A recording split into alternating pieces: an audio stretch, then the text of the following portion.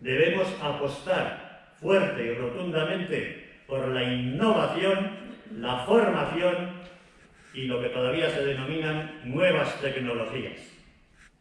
Siempre, claro está, con una premisa por delante. Oñarrizko gauza osasuna. La salud es la base, indiscutible. Eta teknologiak zaindu eta babesten du gure osasuna. La tecnología nos protege.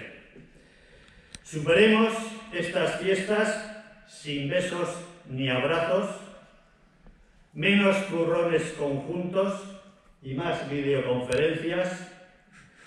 Turroi bateratu gutxiago eta videokonferentzia gehiago. Eskarrik asko eta urte berri on.